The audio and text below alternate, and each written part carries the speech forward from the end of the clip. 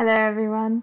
Today I will show you everything you ever wanted to know about roofs. So if you ever struggled with structure, roof overhang, tilt, today you will get your answer.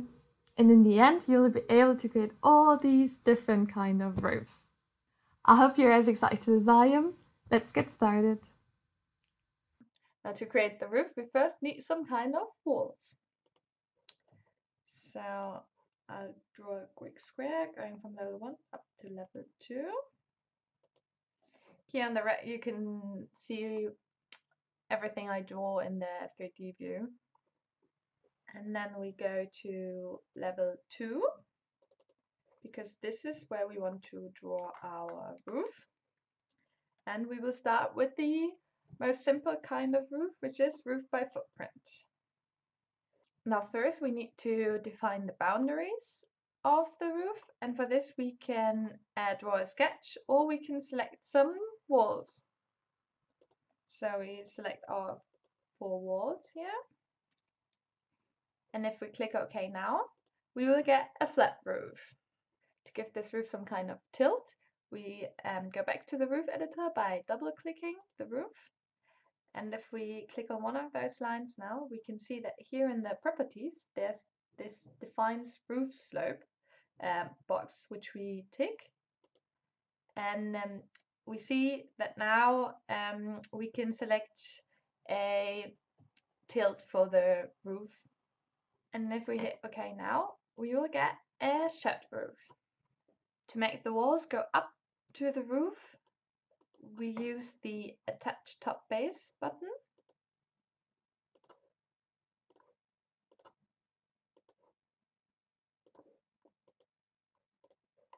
And now we have our shed roof.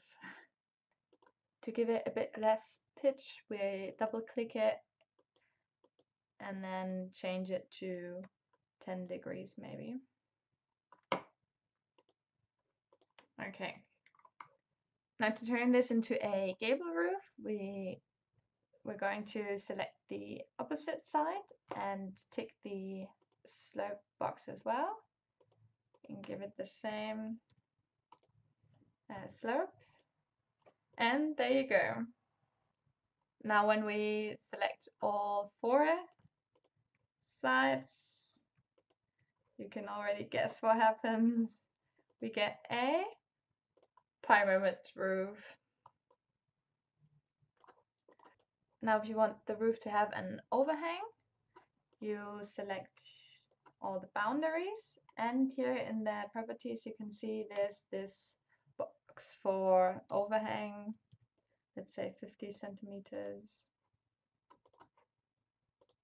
And there you go. Now if you want to add a little extension to your roof for example, over the entrance of your building. We don't have walls to draw on, but we use this simple line to draw a little extension.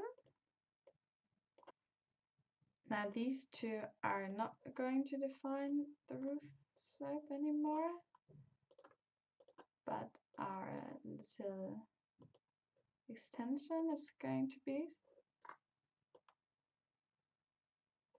Now if we finish that, this is the sort of little roof that you get. But if your roof is somewhat crazier shaped than these basic roof forms, you might not get very far with these basic commands. But luckily, there are also the roof by extrusion or roof by face commands. To try out the roof by extrusion command, we're going to delete our current roof and draw a section. Click on go to view. And now in this section we see the face of our wall. Now to draw the roof by extrusion, we will need to pick a, a plan in which we are going to draw the extrusion. For this, we select the face of our wall and we want our roof to start at level 2 with no offset.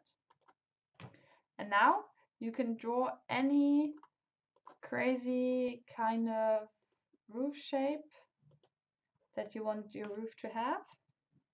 And when you click on finish, Revit will create um, the roof for you.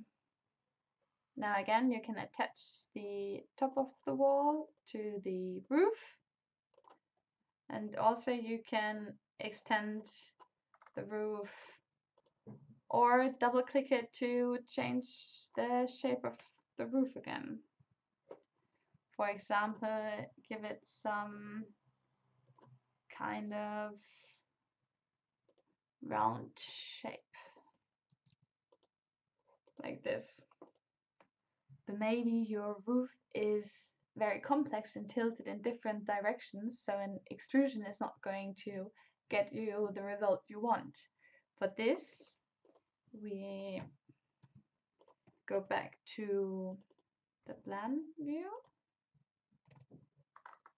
and draw a flat roof first.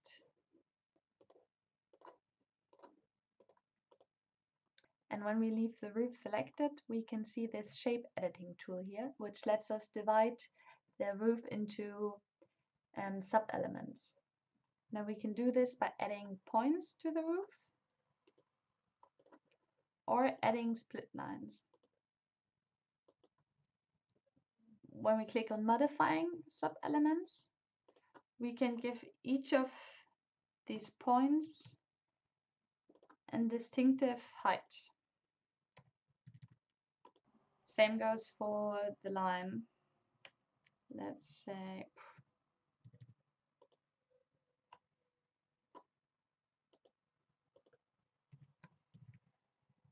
by pressing escape we finish off the editing mode and after again attaching the walls you get this folded roof. And now last but not least I'm going to show you how I created this crazy bubble roof. To do it I use the command roof by face which creates you a roof upon any kind of surface that you click on. Uh, to get a surface like this I use the model in place editor. Now to give you just a quick look into how I did it. Now this is the model in place editor. Here you have all these different um, tools to create some sort of form. And this is the model that I created. It consists basically of four half spheres um, that I cut with this um, void form. Now if you would like a deeper dive into this model in place editor, uh, please leave a comment and I will make another video on it. But for now, let's finish off the model and then I'll show you how we can place a roof on it by selecting roof by face. And because the shape is so complex, we have to go one by one, create roof, and then for this, create roof, and there you go. Now we can delete this generic model and we have our light roof structure. Make sure to select a thin um, roof type because otherwise Revit won't be able to create it. Yeah, so those are the different ways to create some kind of roof shape. I hope you found what you were looking for. If you liked this video, please give it a thumbs up or consider subscribing to my channel. Um, I make new videos every Monday. Also, check out my other videos. Goodbye. Have a nice day.